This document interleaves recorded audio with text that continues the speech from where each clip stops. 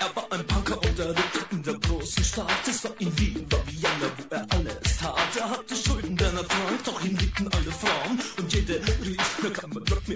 Er war Superstar, er war populär, er war so exaltiert, because er hatte Flair. Er war ein Virtuose, war ein Rockidol. Und